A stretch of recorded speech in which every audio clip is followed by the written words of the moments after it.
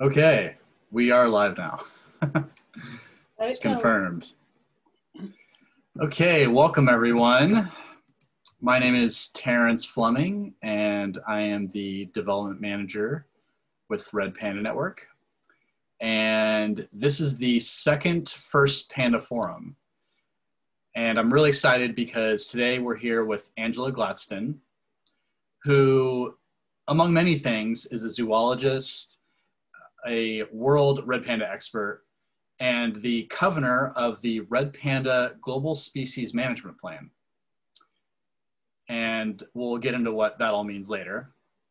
And Angela also happens to be the chair of the Red Panda Network Board of Directors, which is, we're really fortunate to have her on our team. Um, so I'm just going to give a, a, a short introduction about the long list of achievements uh, that Angela has had in her long career in uh, conservation and zoology. She's actually been on our board since 2014, and this is really exciting because Angela is a well of knowledge when it comes to red pandas and zoology in general. And she's also been a significant part of global red panda conservation efforts, uh, which includes raising thousands of dollars for our mission and our uh, specifically our Forest Guardian program. And as we go through this chat, you'll see exactly what I'm talking about. So Angela received her PhD um, in, and she studied mouse lemurs at the University College in London. And I really want to talk to her about mouse lemurs because I, I know red pandas are cute, but uh, mouse lemurs are also really cute. And she also, Angela also worked with Rotterdam Zoo for a long time, where she established the International Red Panda Stud Book. And if you're like me, you may not know what that was or what that is. I didn't for a long time, and now that I do, I see how significant it is. And we'll talk about that more later too. She's also worked with the International Union of Conservation of Nature on the Species Survival Commission and CITES, which is the International Convention on Trade in Endangered Species, um, all on behalf of red pandas. And on top of all that, she also started our incredible Red Panda EEP Forest Guardian program, which we'll also discuss later. Um, but today we're going to talk about one of the books. She's actually edited two, but one of the books is this. I mean, probably the most thorough Red Panda textbook in the world. Um, it's it's really amazing, and it, it's just so helpful for anyone who wants to learn everything there is to know about red pandas. Just about. Um, so yeah, so lots of achievements. If you have any questions, please leave them as comments on our Facebook stream, and we'll leave some time at the end to answer them. Um, but yeah, let's let's jump right into this. Um, I guess it'd be great to know what was your role in in the publication of the book, and what was it like to to work on it. And I'm I'm Um, talking about red panda biology and conservation of the first panda. That's the book I'm talking. About. Well, as you said, I, I'm the editor, which means essentially I had to invite all these people and persuade them to write chapters and then try and bring uh, all the information together and make a sort of uh, synthesis of what we found at the end. So it, covers many topics of which I'm not so familiar. We've got some information on um, fossil fossils and the evolution of red pandas in there, as well as more uh, zoo-related things such as captive breeding and diet and veterinary care, and and field data as well. Um, we've got some uh, studies from red pandas in the wild and discussions on reintroduction programs. So it covers a multitude of things, and my job was to find people who'd like to write about those things. Oh wow! So you actually found the people who wrote the book. Yes, Oh, very cool. felt very flattered that they would agree to to write a book for someone they'd never heard of. So I'm, I was very happy that that went quite well. Yeah, that's so cool. What was the process like in finding the writers for the book? Well, so, some of them, of course, I knew because I'd read their work. Um, and some I'd found online when I was looking up information, like, like for example, on uh, evolution and fossils. Um, I, I, found some names. Some people were recommend would recommend people on other topics, and one or two people wrote and said, "Could we write something?" So it was a sort of a, a whole raft of different ways that people got in touch. That's so cool. It, it sounds like it just became like this intersection of Red Panda experts and science and conservation. And so was it was the inspiration just that there wasn't really a book like this and you just saw a gap that needed to be filled? No, no. Um, someone had, uh, had obviously thought about this and thought suggested to a publisher that I might be someone who might be interested in in putting together a, a, book like this. I hadn't dreamed that this would happen, so I was really excited when this guy told me he'd approached a publisher, and then the publisher approached me. So I, see. Okay. Excited about it. Yeah, that's really cool. So, how long did the process take? I would say a good year. I think. Oh wow! Okay well, uh, probably I met the publisher in the autumn of the previous year and I started working on it. We put together a proposal and then uh, probably from the January of that year, the next year, I took till about October, November, I think, till it was all finished. Okay, so it took you a year to edit, but I mean, this is a this is a huge book. I'd imagine putting together all the the the content probably took more than a year. I would I would imagine. Well, you have to remember that lots of other people wrote it. Right. So, right. so you know, you know it's there, and you approach these people and ask them to please kindly submit something by the end, a certain date. Gotcha. Okay. And then, then you put it, you know, make comments or say that this disagrees with so and so's chapter. What do we want to do about it? Right, and that actually brings me to to my next question, which is, what are some of the what were some of the challenges in, in writing the book or editing the book or publishing the book? I'd imagine making everything sort of consistent and like you said, sort of mitigating any any conflict, you know, conflicting information in the book would probably be something that. Yeah, I think that was, was the most, and and occasionally nagging people who were taking a bit too long. right. Right. It was also, but I, I, I think I was very lucky with my authors in general. It went very smoothly. That's um, so cool. That must have been such a, a unique experience. It was. It was. It's it, it's a lot of work, but it was. Yeah, it was fun. yeah. I would imagine. I I mean, I'm sure a lot of us have have you know wondered how you know especially like a, a scientific textbook is put together and um, and I'm sure you got you know some some in-person insight into that process. Yes, and you you get to know these people a bit as well through email. So it, yeah, it's it's an interesting process. Yeah. Very cool. So, rumor has it there's going to be a new edition of the book released soon. Yeah, well, soonish. We're working on it. right, okay.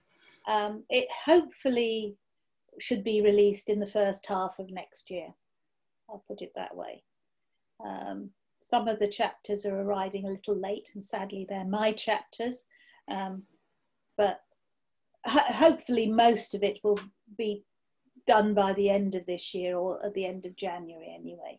And then the publisher has to then uh, put the put you know put the whole thing into a an attractive format and I have to maybe that some chapters are too long. I have to also check that there is a length given to the book, uh, which wasn't given to the previous book. No one told me it had to be so many words or so many pages, but this one has a limit.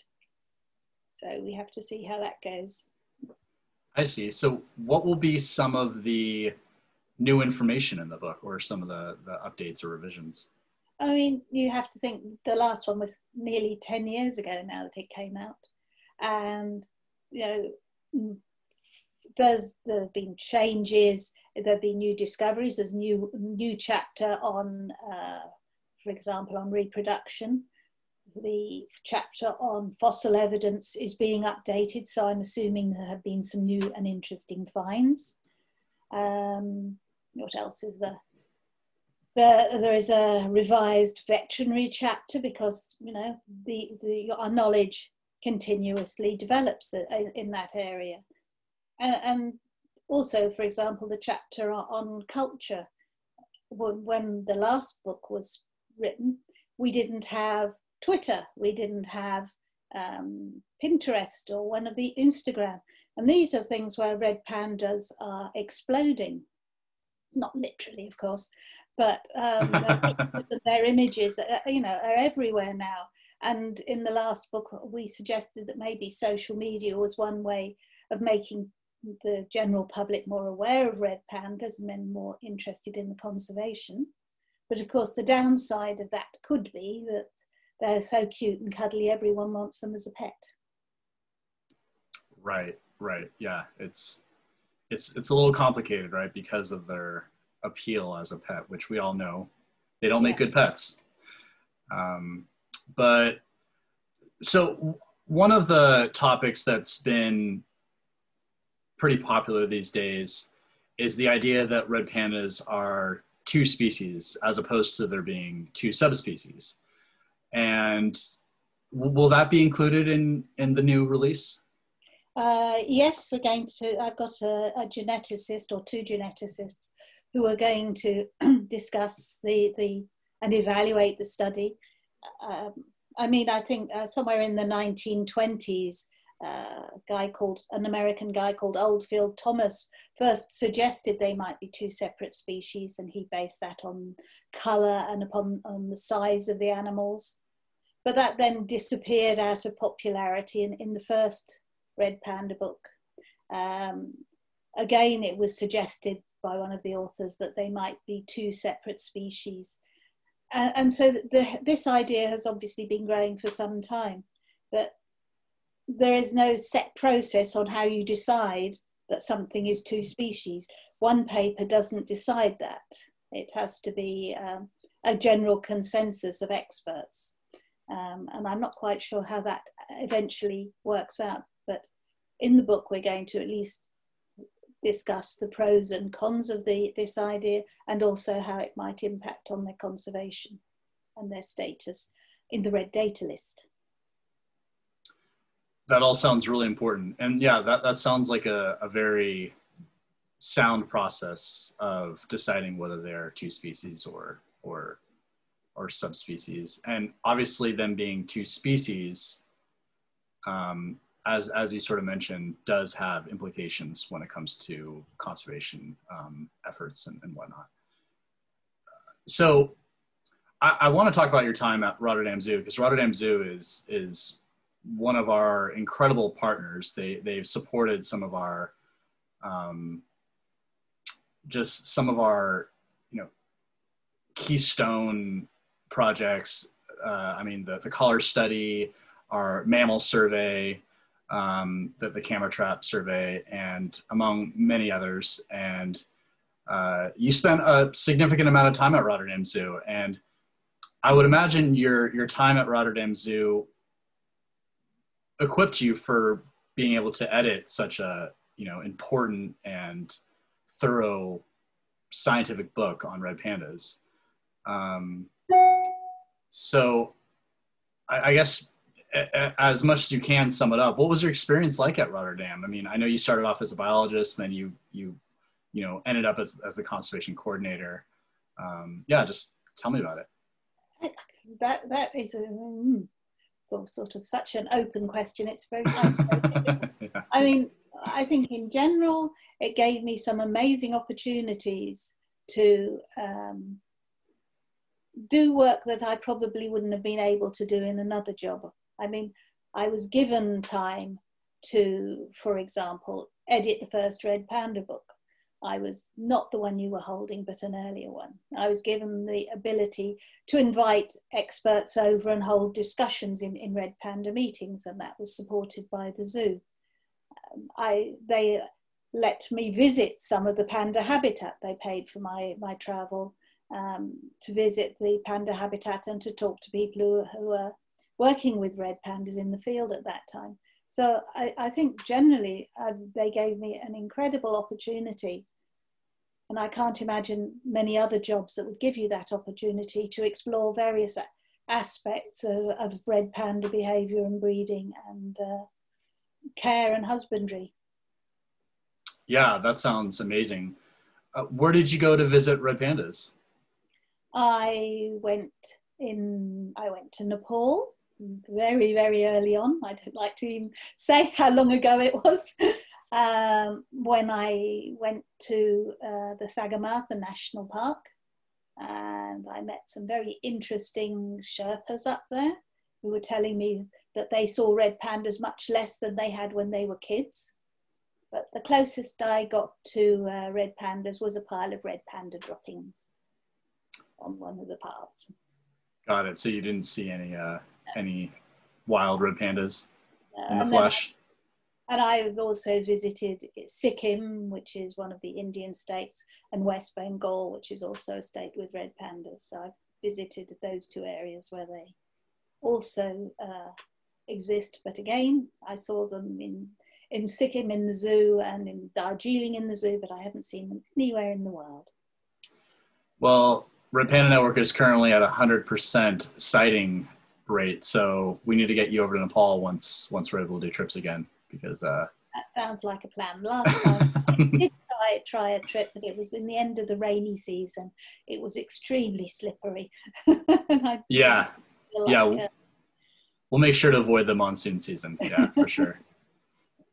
Cool. So I, I, know that you worked with uh, hoofstock, which I'm assuming is ungulates, right? Like yes, the rhinos and the the antelopes and and the pigs and the giraffes, all of those. cool. And then, so how how did you move on to red pandas? I, I started with red when I when I went to Rotterdam and I just finished my research for my uh, mouse lemur thesis. I was looking for something because I was a biologist, so I was there to, to do studies and publish things with the zoo's name on it. And the first, um, Uh, I was, didn't want to do any more mouse lemurs and I wanted to do something different.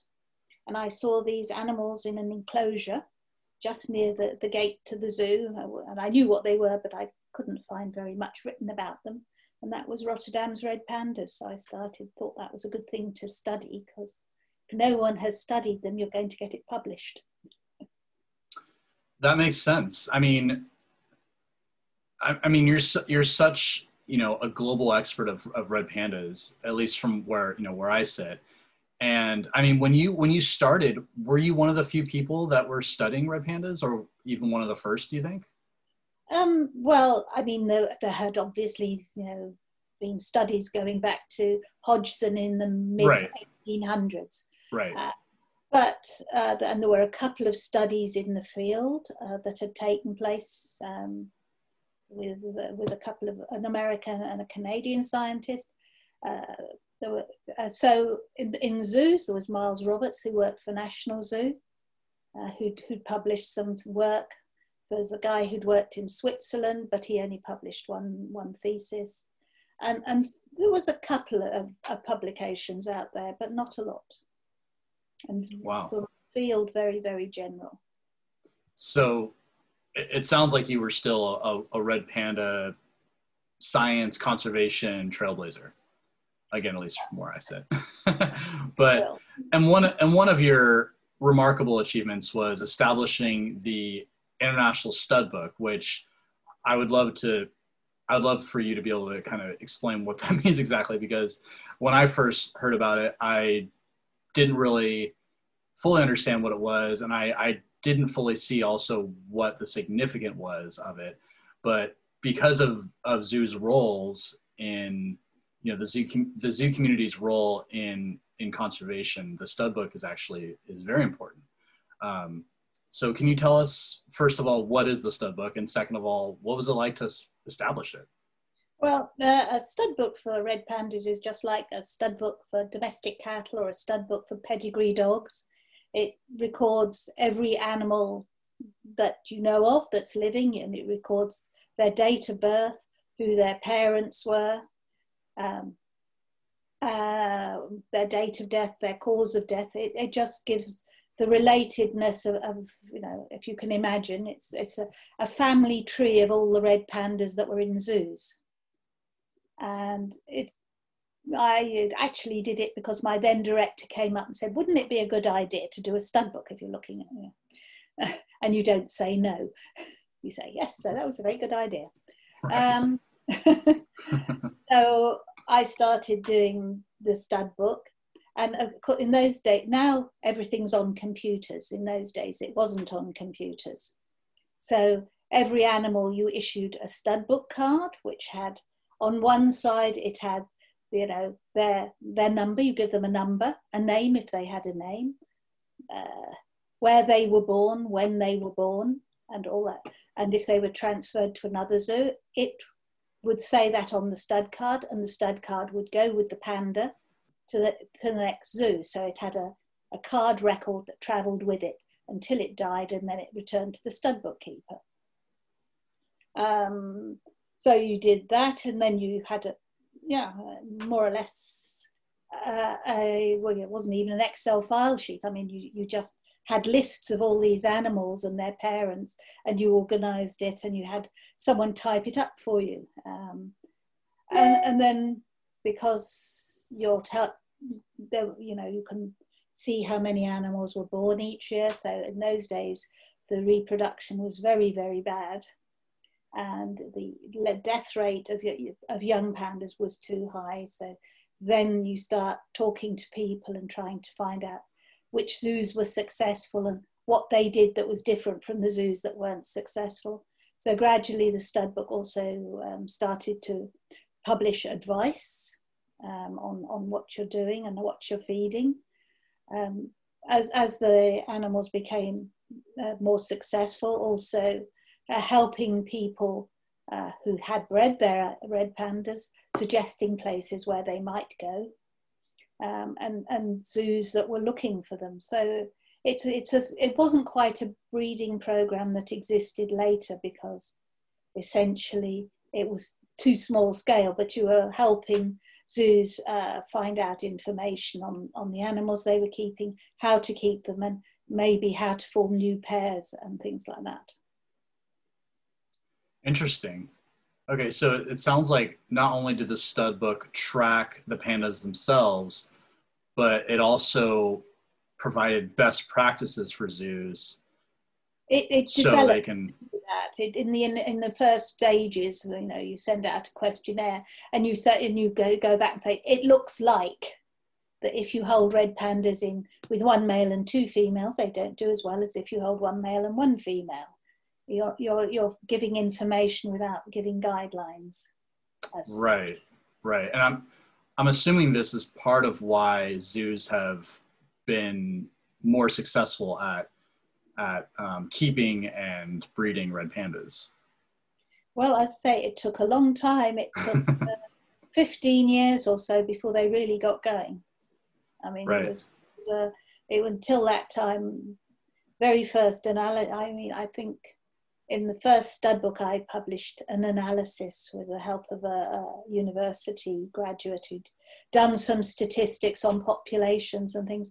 At that time, it looked as though they were going to die out in about 10 or 15 years because the death rate was so much higher than the birth rate. Wow. That's, so, that's crazy. Yeah. So it, it, you know, if you'd asked me, you know, in the first 10 years of the stud book, if I thought we'd ever get a successful breeding program, I'd have probably said no. Wow. That, that's amazing. We've really come a long way. Wow. Have, yeah, it, the programs have developed a lot, and yeah. zoos are more uh, uh receptive to comments and and to you know take advice than they were when I started. That's really cool. Well, kudos zoos. Kudos to the zoo community. So, when you weren't busy developing this critical stud book, what other animals did you like working with besides red pandas? Uh, with, well, with your time at Rotterdam? I mean, when I became uh, after some the research part, which was a lot, lot of red pandas, but some studies of gorillas and other things. But when I started working with the hoofed animals, I think one of I had two favourites. I think one was the giraffes because there is nothing cooler than going into a stable in the morning and they sort of lean over their fence and nibble your hair. I mean, it's just they're such gentle animals. They are. I, I had the pleasure of, of feeding some giraffes, and their tongues are incredible. Yeah, so, yeah. Those and the other one are Visayan warty pigs, um, okay. Uh, which are a very rare pig that come from the Philippines, and the males develop this wonderful big punk hairdo in the time of the year when they mate, and then it all falls out till the next year. And and they're, they're again they they're such they're such nice nice animals. They're so sociable and, and the males are so gentle with the piglets. It, it's just just nice animals to work with. What are they called? Visayan warty pigs. Visayan warty pigs. Vis, Visayan from the Visayan Islands in the Philippines. Right. Okay, got it. yes, never heard of them. No, you wouldn't, but they're very rare pig. nice. And, and, they have the males have these warts on the side of lumps on the side of their faces. Yeah, they're just yeah special. yeah, yeah, they they sound like they're they're characters. So this is great. Yeah. So if you're just joining us, this is the First Panda Forum. Uh, this is our second First Panda Forum, actually. And I am Terrence Fleming, and I'm here with Angela Glatston, and we're both with the Red Panda Network. I am the development manager, and Angela is the chair of the board of directors. So if you have any questions, please leave them as comments on the Facebook live stream, and we'll leave some time at the end to answer them. So I mentioned the the Red Panda GSMP, and this is, I think, another topic that, unless you work at a zoo or unless you work in conservation, you may not really be familiar with what that really is. So, could you kind of just tell us what the Red Panda Global Species Management Plan is and what your role has been? And I know you're currently the governor, right? Which, yeah, I'm assuming he's like the chair. oh, yes. um, well, you know, it, it's a progression from the stud book because when you, we started with the stud book, by uh, I think about mid 1980s, Europe and North America developed breeding programs for red pandas, where the um, organization of the program was much stricter than it had been previously, where I was um, giving uh, you know, just suggestions with when it became a, a, a breeding program, I could uh, give more binding advice on which animals should go where and how they might be kept. And so we developed that in, in Europe. There was one being developed in, in North America, another one um, in um, Australia and New Zealand, uh, some in South Africa and Japan. So, uh, and eventually India, but that was much later. So you you were having these these various regional programs that were getting uh, gradually more successful, um, and but some pro, in some programs certain lines of red pandas were doing well and uh, um, and getting uh, predominant in the population. So it seemed a good time to try and do some exchanges between these regions. And, and we started off before um, the GSMP was launched, so this is why I'm sort of going back a bit. Um, we started in the, the mid 90s to make a, uh, a species master plan for the Fulgens red pandas with uh, the regional programs that were already holding that species. So not Japan, which was essentially holding the Chinese red pandas at that time. Um, and, and that involved discussing, you know, do we want to move animals, how that each region is doing, you know, do you need to do something, a bit more of this in one region and a bit more, uh, bit less breeding in one area, a bit more breeding in another area we, we dis- discussed how the regions were going and discussed and organized a few exchanges. Um, and it was organized in such a way that we'd come together and discuss what we would do, but within each region, the uh, regional coordinator was autonomous. It didn't take um, any uh, instructions from me, who was then the stud bookkeeper and the chair of this group.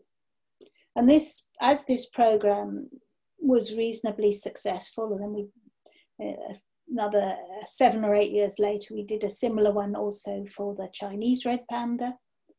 And about in, the about 2010 2011 the world association of zoos was looking for a way to make global uh, to establish global breeding programs not just for red pandas but for other species because sometimes there were not enough individuals of a species in one region to form a, a viable population so unless you considered all of the animals on all of the continents together, you wouldn't have a sustainable population. Um, and because the red panda had been working together as a, a, a group uh, with all the regions, we were one of the, the trial uh, global programs that was set up to see how it would work if they became a, an official, officially recognized World Association of Zoos and Aquariums um, project. So there was, was the red panda and the tiger and a couple of other species that were set up. And they were called um, global species management plans. Um, and the idea was eventually that they would also become more integrated with conservation work um, and maybe reintroduction work, depending on the species and what was needed um, and which is one of the reasons why the link has developed with Red Panda Network, because we decided in the very first meeting of this Global Species Management Plan group, which was again the regional coordinators um, and a couple of external advisors, we decided that conservation in the field was, was as important. And what could we do to support field conservation? One was raise money the other was to uh, provide expertise for certain things. For example, this is, was in the red panda collaring. Some people from Rotterdam went to help uh, catch and advise on uh, the, the red pandas in Nepal to advise on handling them and collaring them. And that was the based on the experience they gained in the zoo. Um, uh, uh and so, this, you, I say, you, the zoos could provide money and they could provide expertise and they could also help publicize red pandas and put more information on their zoo websites, put, uh, publish articles, put them on the zoo social media. So that was the other thing that we felt we could and should do. Wow, yeah, this is so cool because I've read about the GSMP, but just having this you know exclusive insight into how it developed into what it is now. And i mean it sounds like it was a lot to coordinate um, and it, sound, it sounds like there was a lot of people who were um, involved which is good. But you mentioned you mentioned reintroduction. Um, and I, I, know that part of the G, gsmp's objectives is to provide a backup population um, for for wild red pandas is is there an example of, of red pandas who have been reintroduced to the wild? Um, there have been some um, introduced from India, from Darjeeling Zoo. There were two females that were reintroduced, oh, I can't remember, um, maybe about 15 years ago, I can't quite remember the date. And they were the basis of the film Cherubs of the Mist. Mm-hmm. Um, and those two females uh, were introduced into the Singalila National Park, which is near Darjeeling and also links over the border to uh, the, pit area in Nepal. Um, and one of those females, they were both collared, as I remember. The one female was killed quite early on by a leopard, and the other female did breed with a male, with a wild male. Um, they found the cubs Um, but at some stage, the mother moved the cubs, and they don't know if the, they remain successful or not. I think they may have gone over the border into Nepal where they couldn't track them anymore. Yeah, I've I've heard a lot about uh, Cherubs of the Mist, and um, that's the uh, the pot. I'm totally not going to say this right, but it's the Padmaja Naidu Himalayan Zoological Park. Is is Yeah. the Yeah, the that's- that- yeah and and, and they've now got another project and they've got uh, in the same national park where they, they've currently got a reintroduction area that's a sort of fenced off large area within the you know quite near the entrance of the national park where they've got two uh, pairs of pandas getting them habituated to living in the environment before they release them um, I don't know. Uh, They're meant to be releasing them sometime this year. I don't know if they've done so yet, possibly. And they're going to do the same with four, uh, four animals, two pairs, in another national park um, next year. Uh, very that- cool. That is the planning if uh, COVID doesn't get in the way. Right, right. Well, those are really exciting plans. Um, hopefully, they they are able to happen. And obviously, another another level to all this is the GSMP also um, through their work with zoos help to educate the public and raise awareness about uh, threatened species and the need for their conservation. Yes, that's what we, we try to uh, encourage zoos and we try to give them information. We try to help them, yes, put more information out there about red pandas. Excellent. So we're actually getting a, a, a lot of questions, which is great. So I'm just going to jump to the last sort of uh, topic I wanted to to chat about, which is the the Red Panda EEP Forest Guardian Program. Um, and the EEP is it stands for European Endangered Species Program. um, I guess it maybe should be EESP, but that's okay. um, but yeah, can you just sort of just tell us a little bit about it and maybe sort of what inspired you to start it? Okay, well, this is, yeah. Um, GSMPs are meant to be hosted by one of the regions. Um, so, as I, within the European region, was the convener of the Red Panda GSMP, I thought that that Europe should be a leader in trying to raise mon- money for red pandas in the field.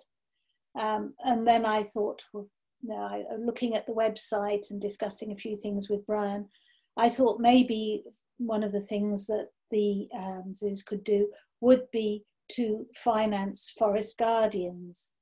Um, so the, the idea of the program was to offer zoos at a sort of reasonably low rate of, of contribution. They could buy into a program to support 10 forest guardians, I think we started with. And, and you have to remember that certainly in, in Eastern Europe, there are some zoos, and, and yeah, not even just Eastern Europe, there are some smaller zoos which do not have a lot of excess money there. Most of their money goes into the day to day management and care of their animals. But on the other hand, you know, it's good to get them involved in a conservation program, and they probably want to be. So by offering a, a package of forest guardians which they could buy into, they they they have a buy-in into that into the um, conservation of red pandas, and the idea is that over time uh, they gradually, hopefully, will contribute more, and maybe one uh, in each individual zoo or a few zoos will each um, adopt their own forest guardian, and then you have this personal relationship, which I would like to see between a zoo and their own forest guardian. That's a sort of part of your, your zoo family, if you like, and, and that you are familiar with and you know a bit more, and you know you know their family, you know their kids or whatever then then you you've got a buy-in that will hopefully keep the zoo supporting those forest guardians for a much longer period of time. That yeah, that's such a that's a such a great approach. Um, I, yeah, I just love the idea of connecting on a personal level the the, the zoo with the the forest guardian. And, and if you're not aware of what our Forest Guardian program is, uh, Forest Guardians are local people who live in Red Panda Range who we hire and train, um, and they monitor the forests where red pandas live, and they um, educate fellow villagers and um, you know they they report poachers they they dismantle traps uh, that are set for red pandas and other wildlife i mean they're they're what we call the heart of our community-based programs so um, yeah, the EEP program is awesome, and it, it, it's as I mentioned before, it's raised a lot of money for our Forest Guardian program, which is just awesome. Um, so I just have a couple more questions that I want to get out real quick before we go to the uh, the comments. Um, so uh, what was it like studying mouse lemurs? I mean, I, I just got to know. Are they are, are they are they as cute as they sound? I mean, I've seen photos of them and everything, but in person, I'm sure they're even cuter. They're, they're, they're cute. They weigh about 60 grams. Um, so they are very, very small. They're yeah. nocturnal. They look a little bit, you know, if you're not familiar with them, they look like small bush babies. Mm-hmm. Mm-hmm. Um, yeah, they're, they're, they're really nice. I, but, you know, they're quite feisty. Someone once said if they were the size of, of uh, Alsatians or German Shepherds, they'd rule the world. You know, they're, they're, they're, they're yeah, they're then they're nice animals, but they're nocturnal, so you have to, if you want, because uh, I essentially am interested in behaviour, so we had them maintained on a reverse lighting, so I could watch them. Their night was in my day, so I was at work and they were in the dark. that sounds that sounds really cool. Yeah, they they they're nice animals as well. I and for some reason, I had the opportunity to hand raise a couple because their mothers neglected them. And you start with something about the size of your pinky finger that requires feeding every two hours, day and night. So it's quite quite challenging. Wow, yeah, yeah, that sounds cute but exhausting. And for yeah. some reason, them being feisty just makes them even cuter. I don't know. I don't know why. Small and feisty. That's yeah.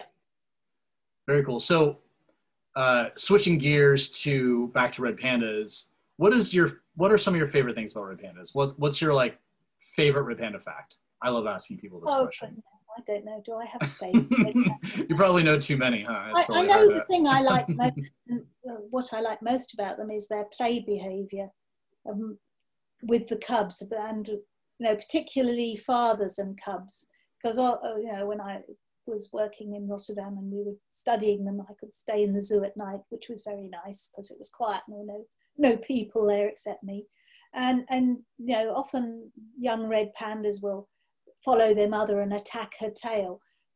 But when you see these really, you know, wrestling and, and doing roly polies, it's with the father, or at least it was in Rotterdam.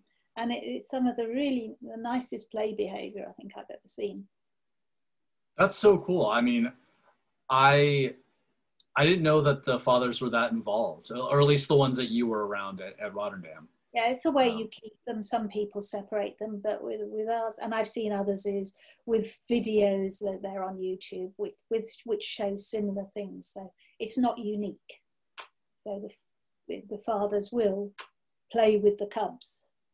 Right, but but that sounds like a unique mammal characteristic, right? The the father being so involved with with uh, the cubs. Well, it's interesting because of course they're solitary, and as far as we know, right. The, the male is nowhere around. But I, you know, his home range will overlap with that of the mother, so maybe they do come in contact every now and then, and maybe they they play in the wild. I really wouldn't know.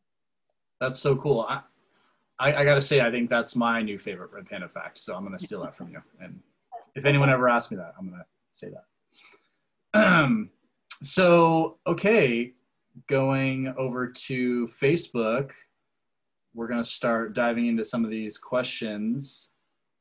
Um, I'm going to try to figure out who posted first.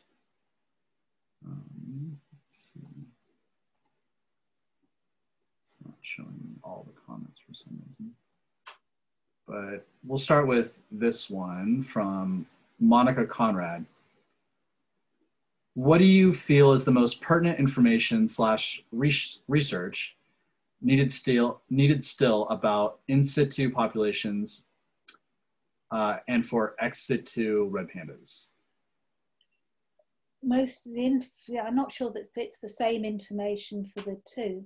I, I think you know for for in situ for in the field, we really do need to know a lot more about the fragmentation and, and of the population and and the sizes of subpopulations and how viable they are.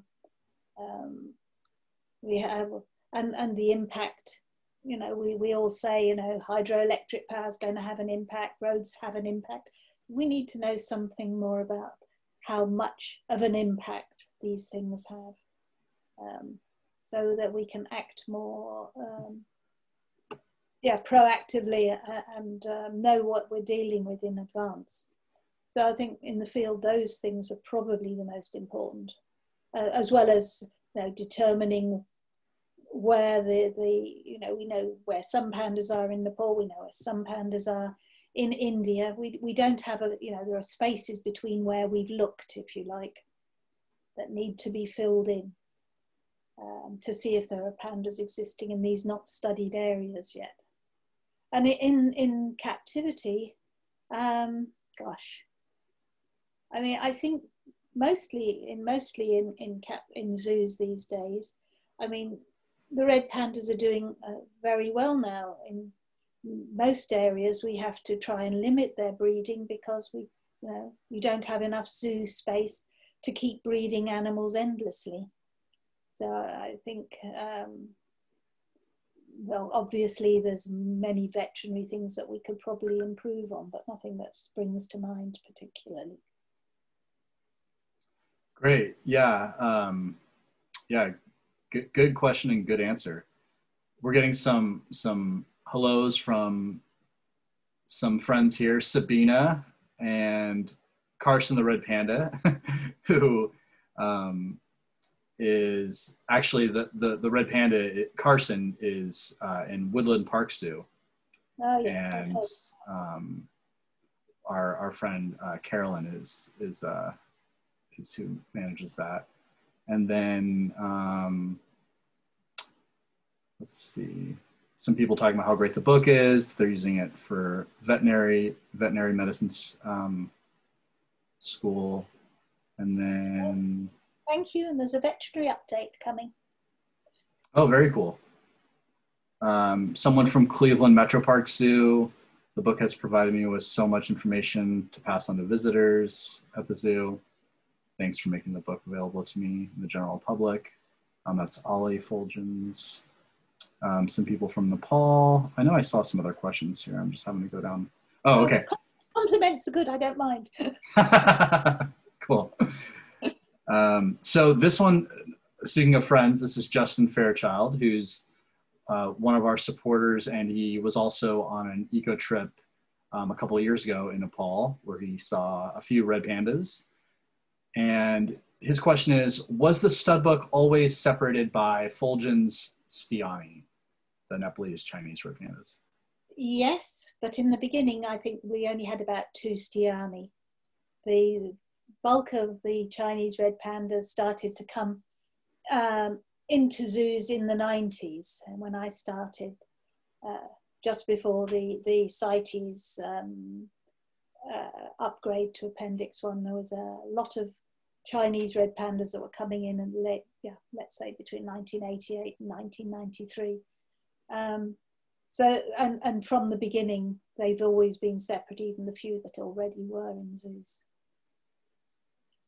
So no crossbreeding, no hybrids, as far as I know. Well, that actually brings us to the next question, which is from our country director, Ang Phuri Sherpa. Hello. And hi, Ang. And he's asking, has there been cross mating between the so-called Chinese red panda and the Himalayan red pandas? Not, uh, not, uh, what's the word? Not, not on purpose. If someone misidentified them, um, that could have happened, but it's not. I've never had um, a cross a hybrid recorded in the stud book. So as far as I know, never. Ne- never intentionally, at least, right? No. That's Um, so someone's asking if the stud book is available online. Um, now it's all, um, it's not, uh, I mean, yes, it has been available online um, on the uh, Rotterdam Zoo website. Um, and I'm not sure how, what is going to happen with that in the future because in, in the past you needed a written stud book, uh, but now there is a global database which all the managers can get into and find out who is who. I don't know that there will be continued a physical publication that will be available. I don't know what the plans are. And the uh, Car- Carson the Red Panda, Carolyn uh, is saying that the Woodland Park Zoo has three warty pigs and that they are pretty awesome. Good, I agree. Well done, Carson. it's amazing that Carson can use a computer, huh? Yeah, hope his claws don't get caught. and Justin Fairchild uh, posted his really cool red pine, redpandafinder.com, which is a really amazing database he put together of uh, Styani red pandas in Asia. Okay, interesting. Yeah, it's really cool. And then let's see if there's. What do you feel? So this is from Monica Conrad. What do you feel is the most? I already asked that question. You did. It uh, for some reason it's out of order now. Okay, I think I got to most of these. Let's see if I missed any. Thank you everyone for sending so many questions. This is great. Seeing that there's quite a few red pandas in captivity now to improve genetic diversity in the wild, would a large number of young red pandas shipped to our Darjeeling area or similar be advisable? Um, I, th- I think the question is essentially would could could the global zoo community provide some um, gen- genetic diversity to the um, red pandas that are potentially going to be released in Darjeeling? Um, To, in- to those or to the other- Singalina. Yeah, you mean the, the pandas in the Singalila? Uh, oh, he might be clarifying. I'm not really sure exactly what the question is, to be honest.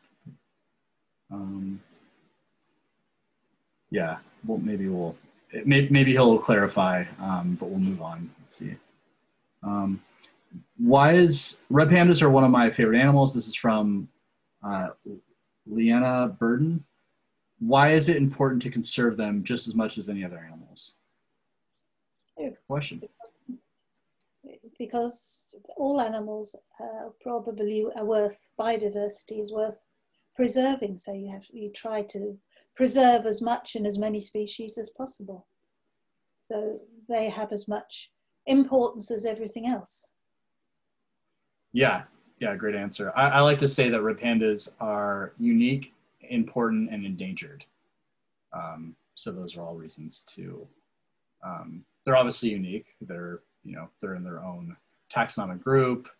Um, there's a lot of unique character, you know, physical um, and behavioral characteristics, and um, they're important. They're a you know they're a flagship species. They're an indicator species of the Himalayan um, landscape, which is obviously a really important um, region, and they're unfortunately endangered as well, with you know fewer than ten thousand remaining in the wild. So, um, but I like Angela's answer too. Um, yeah, I think I think we got to all the questions. Um, so, yeah, well, this has been fantastic, Angela. Thank you very much for for chatting with me today. And if anyone wants to learn everything there is to know about red pandas, buy this book. The uh, probably the easiest way to, to purchase it is through the um, publisher, the El- Elsevier. So if you just go to the Elsevier website and Or Amazon. It's on Amazon. or Amazon, yeah. Um, and you can actually support us through Amazon Smile if you do purchase this through uh, Amazon. So uh, just keep that keep that in mind. Um, yeah, if you have, if you have any more questions that I, I didn't get to, you can email me at terrence at redpandanetwork.org. And I, if it's not something I can answer, I can pass it on to Angela, and I'm sure she'll uh, provide some some awesome scientific background and expertise. And yeah, um, thanks so much, Angela. This has been great, and thank you everyone who joined us. This has been a lot of fun. It's been it's been really great chatting with someone, pretty much the resource that I have, that and the our you know conservation and research team in Nepal. Whenever I need insight into red pandas um, for for my work, you know, you're who I go to, and as, as well as um, a few other board members and, and our uh, and our team in Nepal. So, but yeah, thank you for everything that you've done for Red Pandas and for Red Panda Network, and um, for being here. Thanks, Angela. Thank you, and thank you for inviting me. Take care. Have a great afternoon. Or yeah, sorry, late evening. after evening. After evening. yeah. Yes, I think I'll let my dog out. She's looking like she's crossing her legs. You might want to let that red panda behind you out too. Uh, he, he's okay, take care. Thanks. Bye bye.